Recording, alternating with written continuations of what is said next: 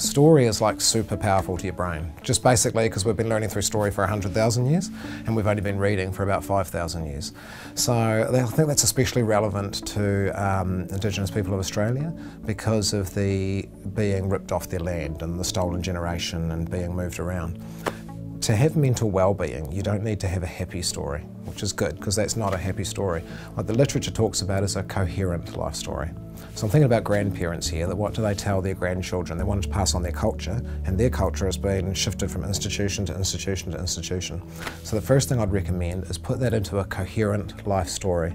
Start at the start, say what happened, run it through. The number one factor in mental well-being is a coherent life story, not a happy life story, but a life story that makes sense. I was born into this rich culture, I was um, abducted or stolen, I was put into an institution that was, you know, I had this horrible time, I got to another institution, um, I got back and found my family if that was the case, and now I'm doing this. It doesn't have to be a happy story, just has to be coherent.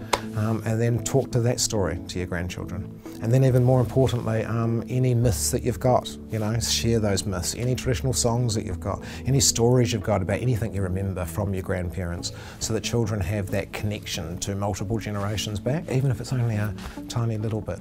I think pass on what you do have, and it's your presence and the fact that you are an Aboriginal person, regardless of what happened to you, and your presence in the child's life will strengthen their sense of identity.